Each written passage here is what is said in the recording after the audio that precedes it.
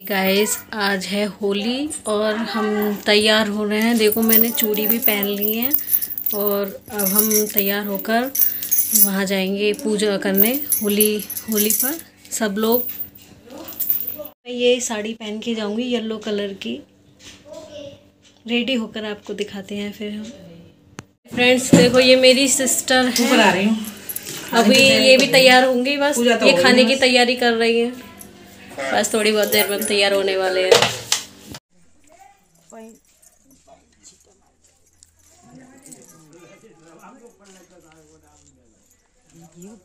तो सही बजाते